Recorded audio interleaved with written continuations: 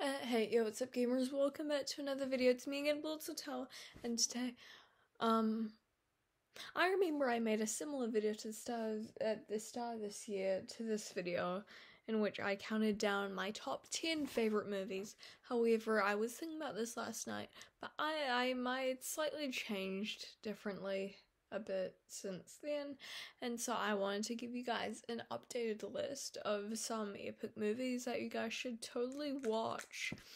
Um, number one, I'm starting from number one. Um, David Cronenberg's version of The Fly. Um, that movie was a really good movie. I watched it once. It was pretty cool.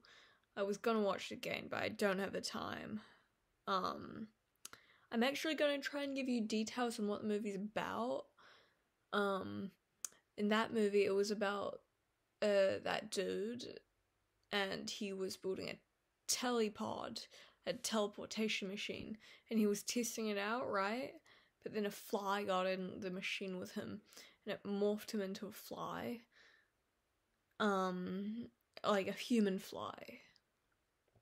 And throughout the entire course of the movie, he is turning into a fly and human fly hybrid and I think that's cool. Um number 2 movie on my list, Monster High Why Do Ghouls Fall in Love. Um I watched this movie twice. Um both times that I've watched that movie but this movie have been at like midnight like uh, midnight like I, I i woke up in the middle of the night on two occasions, and I thought to myself, oh my god, Monster High, why did Ghouls Fall in Love? And so I had to pirate it, and I watched it twice. Um, it's it's a very good movie. Um, my favorite Monster High movie. Um, I sort of remember it. Um, I've been meaning to rewatch it. It's in the movie. Um, it's Draculaura's sweet sixteen hundred thousand sixteen hundredth birthday. Um, and she's throwing like, there's a party in the catacombs, and then Toralei finds out that she's not invited, and she's very mean. So she decides to ruin Draculaura's birthday by inviting around Draculaura's ex Valentine, and he's very evil, and and there's some stuff that happens. It's it's it's about that, basically. Um, I, I don't remember the rest of it. Number three movie on my list. Um, American Psycho. I watched this movie once because I heard that it was pretty good, and it was really good. Um, Christian Bale is in it. He plays pa- Patrick Bateman. Um, really, really, really good acting. Um, I like that movie forgot what it's about, but I know that there was some killing in it. I remember. Um, and there was some business card scene. Um, but I remember that it was like a totally epic movie. Number four movie on my list, um, American Satan, that movie that Andy Biersack was in. Um, I remember that movie. It a lot of people thought that it sucked. And it kind of does. But in a way where it's like, it's hilarious. Because, like, I'm pretty sure what they tried to do with the film is make it like an edgy rock and roll movie or whatever. But it's it's quite corny. And it's it's they failed miserably.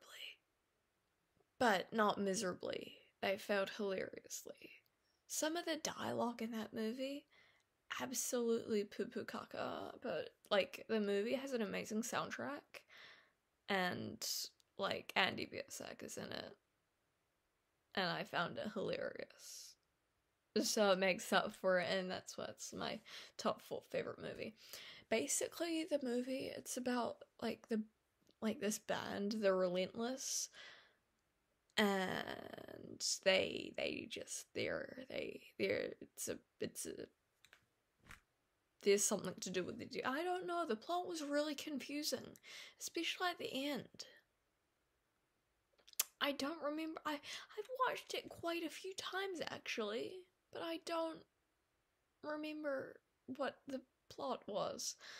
I think it was just them trying to be successful as a band, but it had something to do with rock and roll and like God and the devil and that stuff. And there was also something to do with the Illuminati. I I don't remember it. Number five movie on my list. This is the last one. Um Audition. I haven't I I I don't know why, but I've always thought that Audition was like one of my favorite movies of all time.